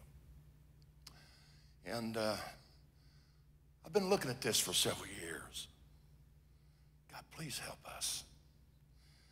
I um, can I just be transparent with you here? It's in that service that night that uh, God, uh, prayer that Saturday night, God spoke to me. Gave me those two revelations. I'll give you two revelations for the end time. My people understand the mighty God in Christ, but they do not understand the mighty God in them. God began to give me a revelation of sonship. The next one was about God's perspective about the miraculous. He said, I called the miraculous children's bread. It's what a father just provides for his kids. You don't have to beg a father for it. It's his nature, it's in his DNA to provide for his family. and I'm your heavenly Father. You don't have to beg me for the miracle. I went to Calvary to purchase that miracle for you. And uh, gave me those, and he said, Tomorrow night, I will heal everything in the building. I was like, Ooh. So I get to church the next night. I make it short. I get to church the next night. Or Sunday morning, I got up and I preached, starting into that revelation on sonship. And man, they were going crazy. They were running. It was one of them wild apostolic church services. Running to the walls, busting sheetrock and all that stuff, you know. And I mean, it was just, here they go. But I announced at the end of the service, I announced, um, I announced, we have a healing service tonight. God said he'll heal everything in the building. So we get back Sunday night and the whole atmosphere changed. Buddy, they, this service is extremely lively right now compared to that service. I'm a Pentecostal preacher. Got to have their response. I need to feel something emotional in this. God was teaching me a lesson.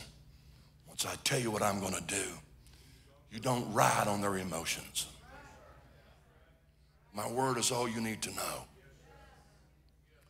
So I, uh, I preached, and it's just horrible. So I thought. So I decided, I'm, okay, let's just do it. So I called for the prayer line. I said, all right, everybody needs a healing in their body, get in the prayer line. And, and they did. They lined up. And, and I looked down. The first lady down there was uh, old Sister Margie McGuire, the precious soul. And uh, she had Parkinson's, advanced Parkinson's. And arm was drawn up and shaking. And to be honest with you, I looked at her and I thought, oh, you got to be kidding me.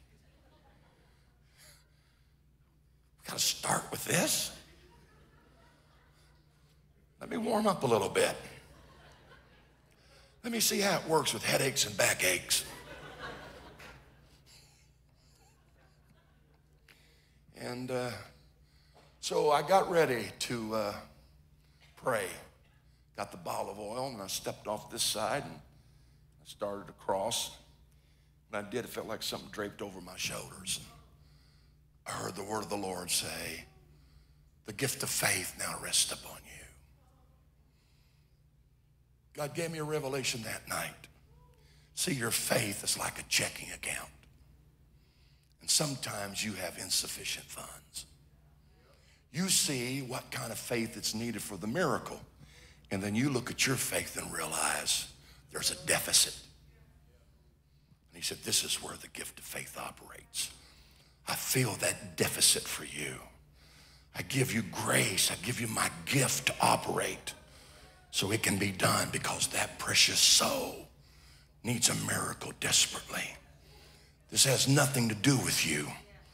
You watch what I'm about to do. I didn't even get to anoint her. Didn't even get, I, I maybe close as you and I are. Old Sister McGuire starts spinning, just spinning, spinning like a top.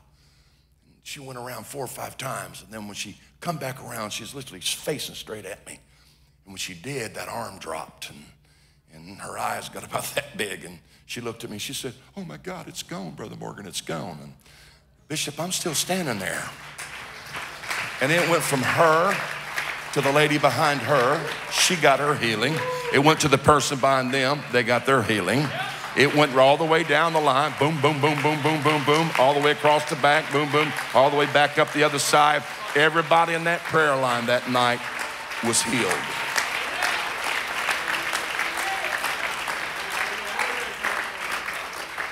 Was healed. You would think, in my transparency, I, I, I have battled with fear. I have. Battled with fear. And uh, you would think that I'd get excited about that. But I, uh, I, that night I got home and I was troubled. Oh, God, there's no future in this. I don't know anybody that I've seen operating gift ministries that's not went wacko and gone to Waco. Just shipwreck, they get off. There's no future in this for me. I don't want it. Next day we had lunch. A couple preachers in service. Oh, Brother Martin, such a great service. I said, it was. Man, I've never, yeah, great. It went on for about two or three weeks, troubled in my spirit. God, how can I be used in this ministry and not be destroyed? Whew. Is the Robinette girl here? Yeah. Stand up. I think I told, uh, come right here. I think I told you this the other night. I'm going to tell you again.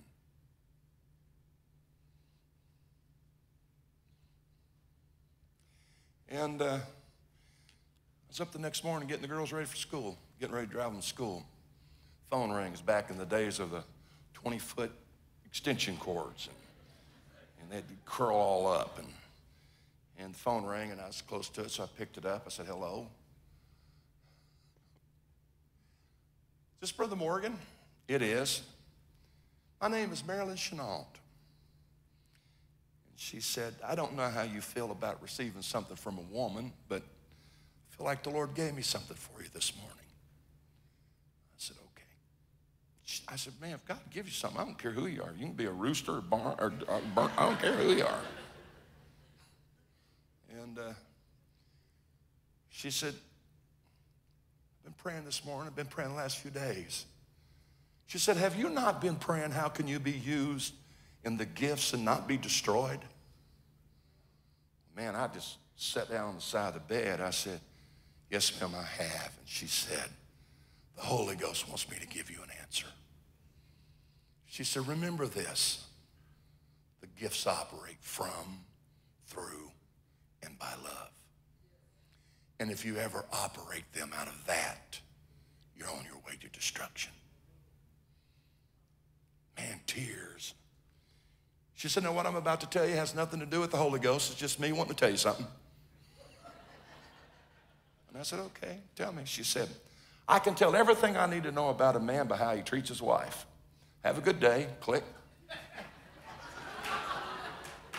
That was my first conversation with Marilyn Chenault. And I believe what Brother Bounce told you. And I'm asking today for that that was on her to rest on you.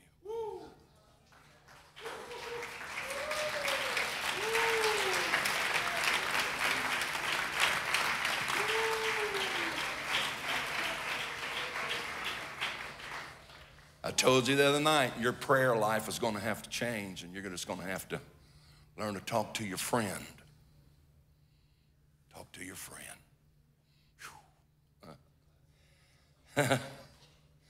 So on my way to the Philippines, it asked me to teach at one of the LDI deals they do over there, and my subject was the gifts of spirit and operation, church, world, and prophetic ministries in the church. I'm on my way over, Bishop, and I'm sitting there. I got my notes. Old brother McLean gave me some notes years ago. I had them in my briefcase, and old brother Sean, Alan and Lyndon's dad, he wrote a book on the gifts, tremendous book. I was preaching in Fredericton, New Brunswick when I was just a young evangelist, and Sister Sean was in that service and walked up. And she said, I think you'll enjoy reading this, and handed me that book. And, and it was signed by Brother Sean. I still got it. And uh, so I had that book and old notes, and I was ready. I said, God, how in the world can we see the gifts of the Spirit operate in the church like we need to see them operate? Why are they limited, it appears? So gently on that plane, the Holy Ghost said, if you'll start operating my gifts out of love, they'll operate more. But the gifts are not to affirm you. That's the pride of life. Third temptation. Have I gone too far? Third temptation. He said, Hey, it is written. I mean, the devil's now using scripture.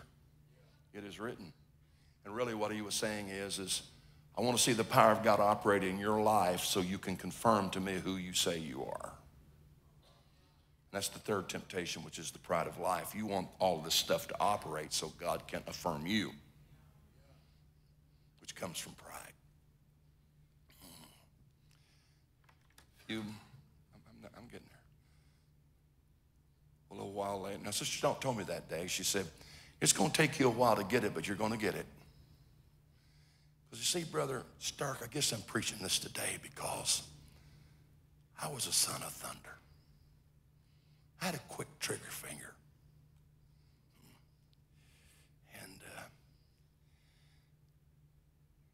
I used to ask God, give me the revelation, the inside of the Apostle Paul, to understand his writings.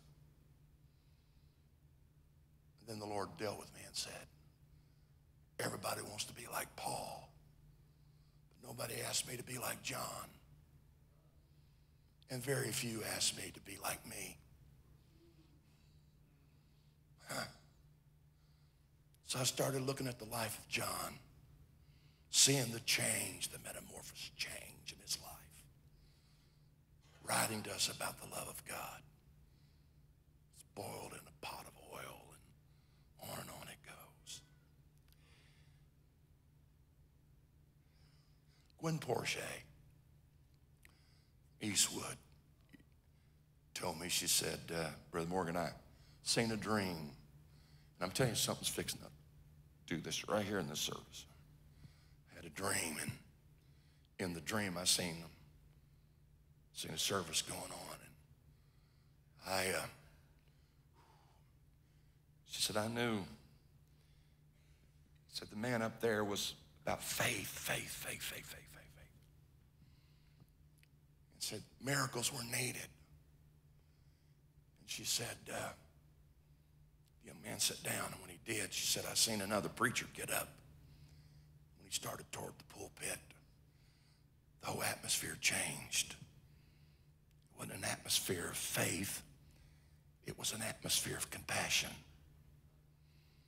And said, when compassion moved into that building through that man of God, miracles unprecedented miracles begin to happen. The Bible says that when Jesus was moved with compassion, because the only way that your faith can be operational, influence, is through love. So the church, the end time, does not need more faith. What we need is, is we need a fresh baptism of the love of God. Bishop, I don't know how you teach, and I would never say anything contrary. If I do, he's right. Looked at that verse, covet the best, gift earnestly. What in the world does that mean? I know we put them into three groups and all that stuff went on. Finally, it just hit me. The best gifts, the ones that's needed at the time. And so, come here, young man. Yeah, you. And so, come up here. So, uh, you have a need in your life, and I'm going to pray for you. And uh, the first thing I have to realize is I can't do this on my own. I need his help. But God, I don't want to do this by faith. I'm asking you to let your love fill my heart, God. And I'm asking you to give me whatever gift is needed to minister to your child. I'm convinced if we can get there, it will unlock the windows of heaven. That the atmosphere of our church and city, you can sit down, buddy. I've lied to you, told you. This is the statement I'm going to make that some may disagree. It was not miracle signs and wonders that got Jerusalem's attention. It was when they seen those people selling everything, bringing it to the apostles' feet, and laying it down, saying, distribute this to the needy. See, they'd seen other miracles. But, brother, when they seen that, this is not our nature. Something's happening here. Not minimizing signs and wonders. But we're so we got to have signs and wonders, and we do. But That's not what's going to get Columbus's attention or Cleveland's attention or San Francisco's attention. It's when we walk out of here and they see us helping the needs of others and they see the agape, the love of God flowing through us. And they say, look, there's other churches in this town that have miracles. There's other places that might be able to call some pseudo fire down. But that, that's God there. That's his nature bleeding through. Whew. My God.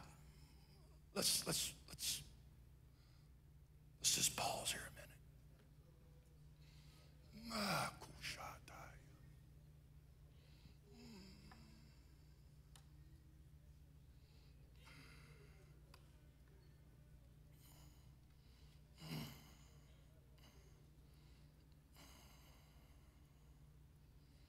Ooh. Mm. Maybe, maybe it would be good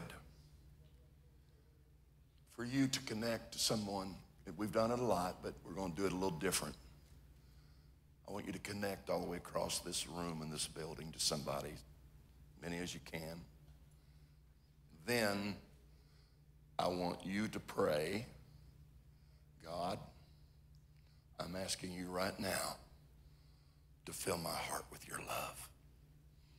I've got disconnected from you, help me to connect with you right now. I believe miracles are getting ready to happen. Then, once that happens, I want you to say these words. I don't know what the need is in their life, but I'm asking you, with compassion in your spirit, I'm asking you to let whatever gift that needs to operate, operate. Because I don't have enough on my own. And these are your children and you love them. So I'm asking you to help me with one of the gifts to minister to your child. Whew. Let's put it into practice today, what you say? And then let's not stop. Let's fill the streets of our cities with what I'm talking about right now. We'll see the miraculous begin to happen in an unprecedented way. You ready to do it? You're not screaming. Don't have to scream. Connect with somebody close to you. You may want to stand. I don't know.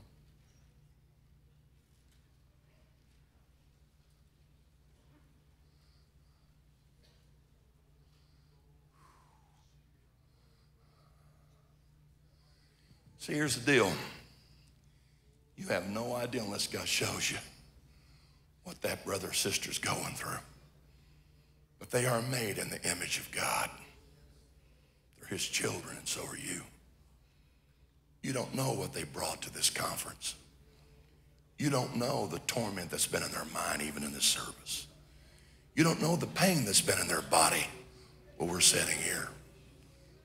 I don't need God's power to affirm who I am, but I do need it to minister to this person the way that God wants me to minister to him.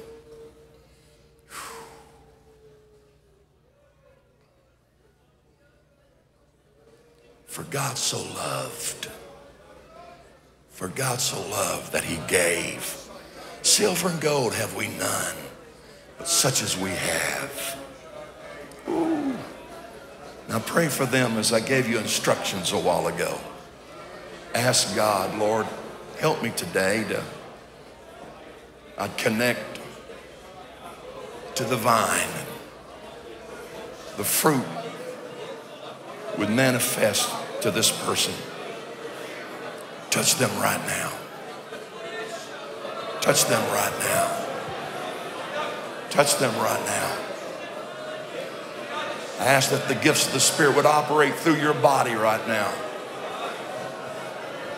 Woo. I ask that people that came in here fearful, that the love of God would dissipate that fear.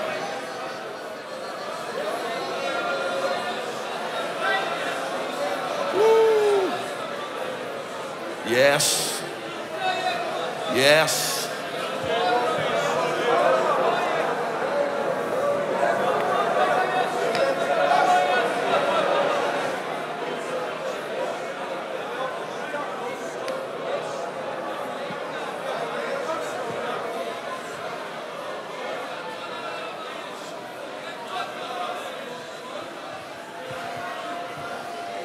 And if there's something in your heart, there's something in your heart, get it out today.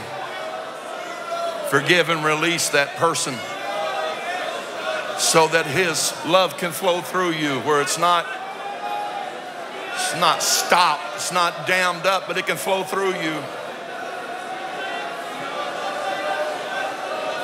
I ask that God heal you today spiritually, emotionally, physically, financially. Bring health into you. To bring health into you. That's it. Keep praying for him. You may want to go to somebody else now.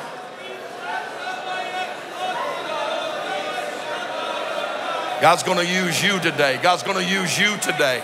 God's going to use you today. You don't have to beg Him for it, just ask for it.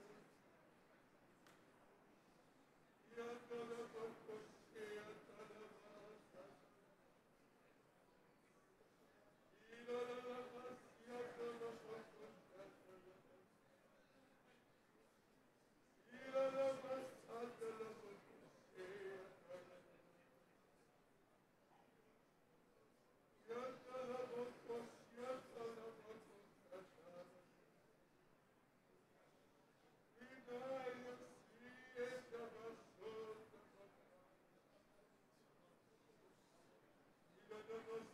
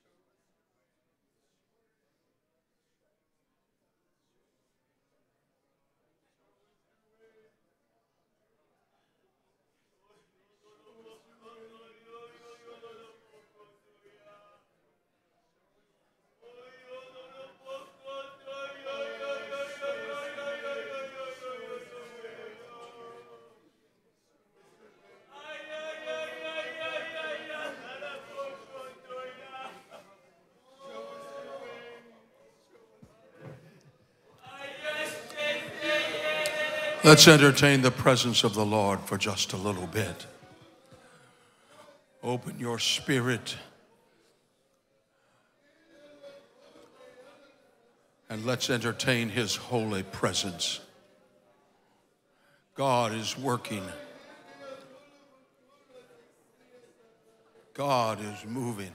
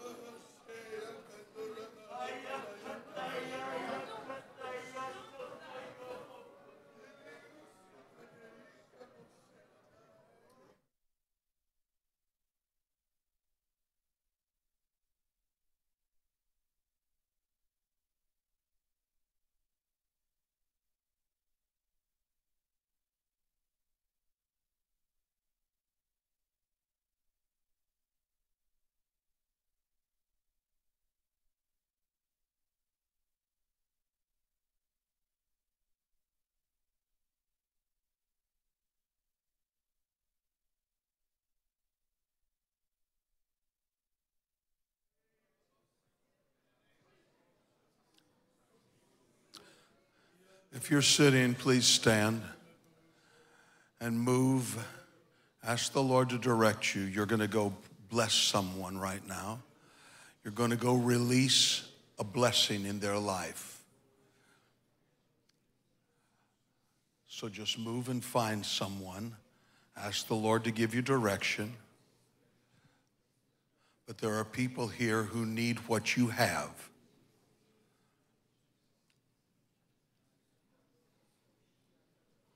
There are people here who need what you have.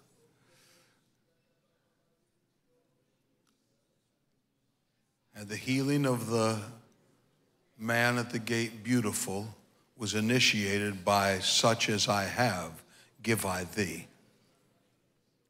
In the name of Jesus Christ,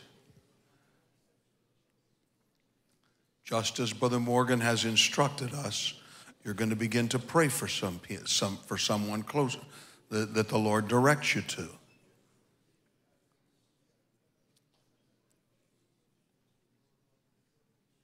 Now face them and begin to pray a blessing on them. Release the working of miracles. Release the operation of the gifts of healing.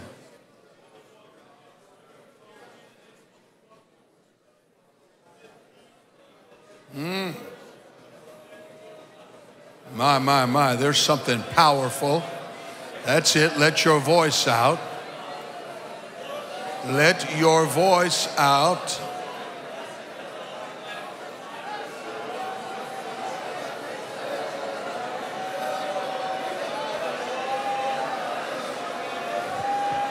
These signs shall follow them that believe.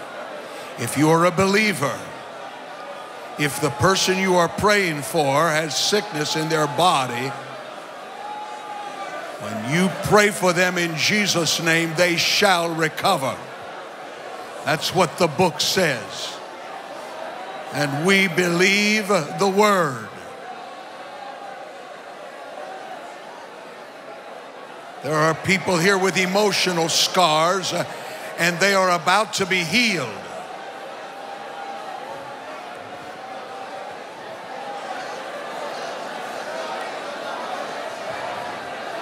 Tahaye. Ilo jahia sahataye olo baba. Let the love of God flow through you. And that gift will work by love. Otoye hatiho sohotahaye galahataha.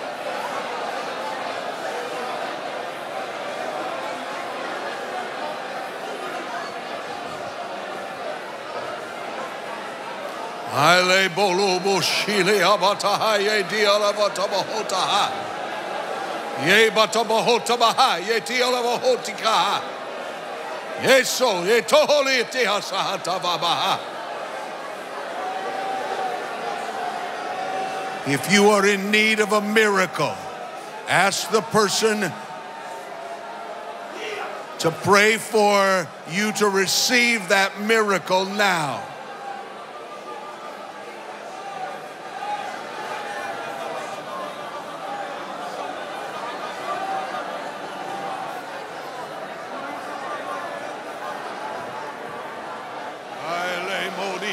Shalavara kohodi alavata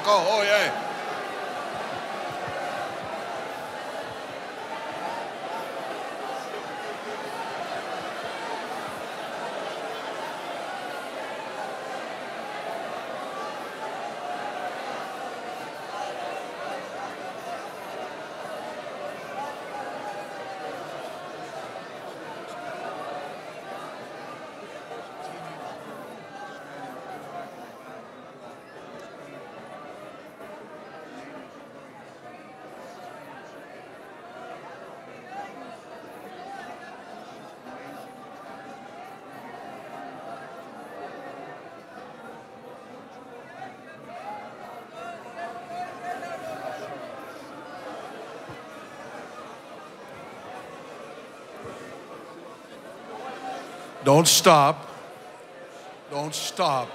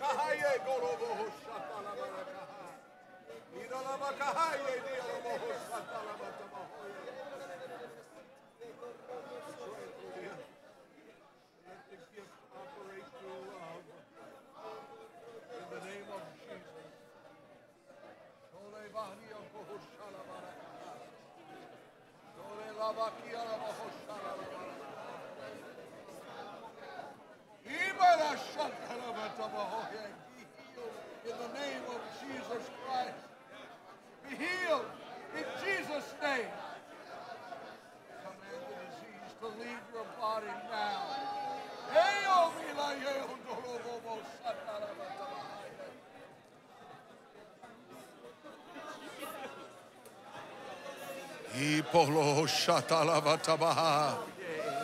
Yata ya ya tolo saye to to bala baba bata ye. Ye do dolo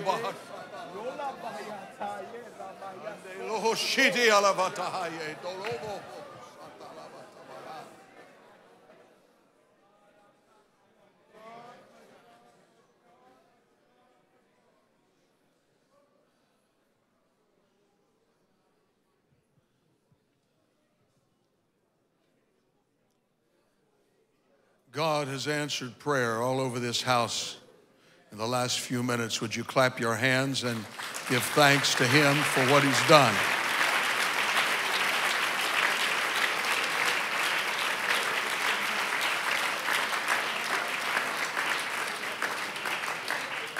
Now, the Bible says that when the woman with the issue of blood came behind Jesus and touched his garment, immediately her issue of blood staunched. The Bible says she felt in her body, she had a witness, a physical witness, that she had been healed, although she did not have the proof of that. But she felt it. And on the basis of what she felt, she claimed her healing.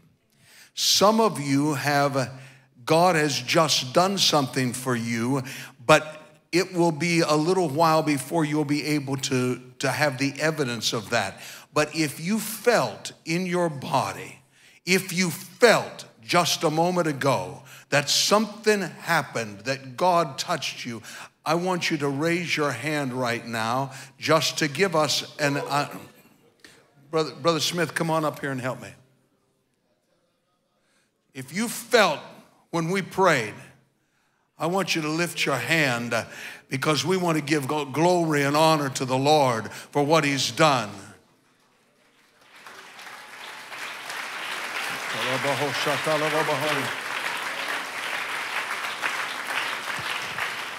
There are 33 people who are testifying that something just happened to them. Hallelujah! Hallelujah! Hallelujah!